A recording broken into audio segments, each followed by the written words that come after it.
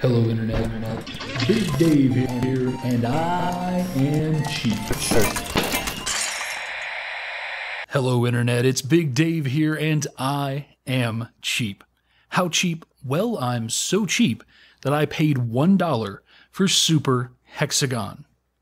Super Hexagon comes to us from indie game developer extraordinaire Terry Cavanagh, and it retails for $3 on the PC. It's also available on a multitude of mobile platforms, including iOS, where it started its life, Android, and even Blackberry. So you guys might remember Terry because of his extremely difficult platformer V, or VV, VVVVV if you prefer. And that game certainly was incredibly challenging. Now, Terry took some time away from the super difficult genre and made a game about cats having a nice chat. And he is now back with a completely different kind of hard game in Super Hexagon. This is the sort of game that you feel like you can get good at with practice, even if for some of us that might not be true. So there's really not a lot to say about this game, so let me just do some housekeeping here at the beginning, and then we'll get right into the gameplay because I really, really want to show you this. Super Hexagon is one of my honorable indies. These were the indie games that, for whatever reason, just couldn't fit into my top 10 list for 2012. This game really poses an interesting question that I'm going to talk a little bit about later, and that is how do you compare the best 10 minutes of gameplay that you've had all year to the best 10 hours of gameplay that you've had all year? It's an interesting question and one that, frankly, I don't have an answer for, so I copped out and wrote the Honorable Indies article, showering praise onto my favorite indie games without having to cut some of my favorite AAA games from my top 10 list for 2012. So Super Hexagon is also available in the current Humble Bundle, the Humble Bundle for Android or with Android or whatever the hell they're calling it now, and I think that's the fifth Android bundle. There's some repetition in this bundle, but I think overall it's still worth purchasing, and I would say Super Hexagon is almost worth the price in and of itself, even though if you want to get Super Hexagon, you have to pay like seven bucks, which is technically more than twice as much as you could get Super Hexagon alone for. But hey, you get some good games, and if you've already got some of them, maybe you can uh, pass those codes on to friends. You know, make the world a better place by giving away wonderful games to people who you like. So, with all of that out of the way, there's nothing left to do but actually play the game. I'm going to give you a disclaimer, guys. I'm going to suck at this game, and it's not the normal disclaimer that a lot of these talking head game commentators give you. Well, I'm playing the game, and I'm talking at the same time, and that's not very easy to do. No, I just suck at this game. Look, 48 seconds is my best time on the easiest level, and you also notice the easiest level is hard and that really says a lot about this game. So you've got Hexagon, you've got Hexagoner, and Hexagonest. Those are your three initial difficulty levels. Then you have three more difficulty levels.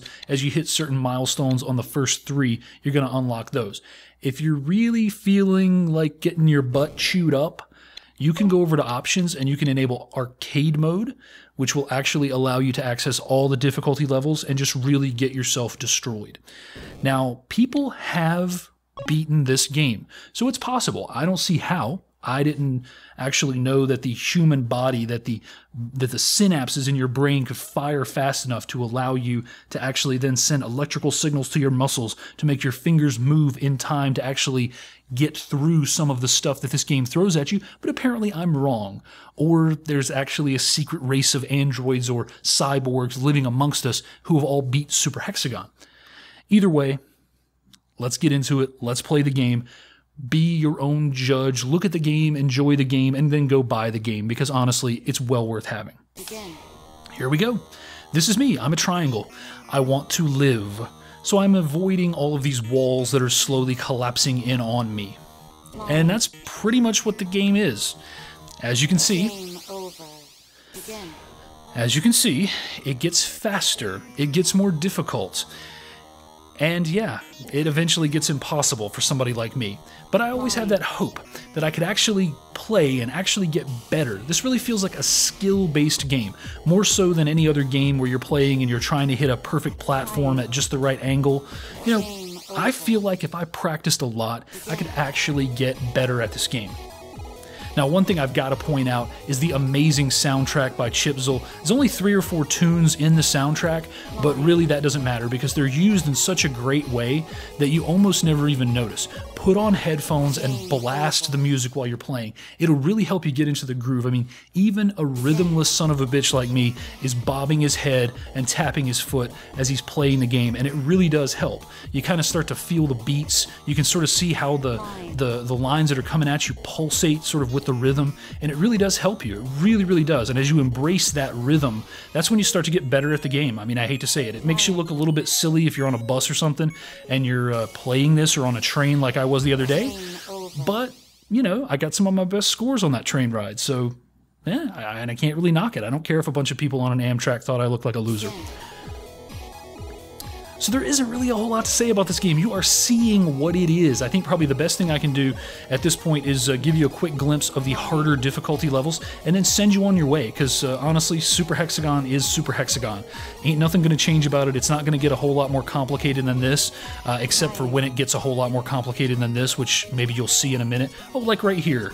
That's not visually difficult or anything, is it? You're going to get a lot of that stuff, so be prepared. Let's move on to a harder difficulty, just take a quick look at it, and we'll finish things up here. I don't want to keep you a long time. I want to let you get over to humblebundle.com and pick up the latest Android bundle, which contains Super Hexagon. So here we go. That's about how long that lasts on average for me. All right, Hexagonest. What can we do? Can I get past three seconds? Oh, I did it. Five seconds. Can I get past five seconds? I don't know. Let's see. No. So the really great thing about this, though, and I would recommend actually playing some Hexagonest, is after you've played some Hexagonest, go back to Hexagon. And all of a sudden, this is a slow drive in the English countryside. This is just laid back. Oh, yeah, I'm taking sips of sweet iced tea between waves here. I'm just hanging out, I got no problems. I'm talking, I'm flipping my triangle around. Oh, happy day, happy day. So uh, the final thing I'll hit you with here is the control methods for this game. Lots of different control methods. Now, you can control it with your Xbox 360 controller right out of the box, works perfectly.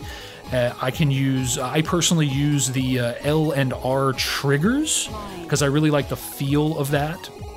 Uh, but ooh, okay, feel a little accomplished when you do something like that, even if it wasn't really that difficult. Uh, you can use the left and right bumpers. You can use the analog stick left and right. You can use the directional pad. Uh, you can use all kinds of different things. Oh, that felt like a really good run to control this. You can use the keyboard. You can use left and right mouse buttons, I do believe. All sorts of way to, ways to control this. Pick the one that feels good to you and stick with it. That's my only recommendation to you as a skilled player of Super Hexagon. That's my pro tip. Pick a control method and stick with it. Uh, but find the one that you feel comfortable with and, and you know then practice with that because it really it becomes all about feel at a certain point with this game. Look at me talking like I know how to play this game. All right, guys, I have been Big Dave, and uh, really, I'm, happy to be back making videos again. You will start to see more videos coming from me. Look for my Honorable Indies article in the next couple of days, and then a few videos to follow, maybe one or two a week as we get into April.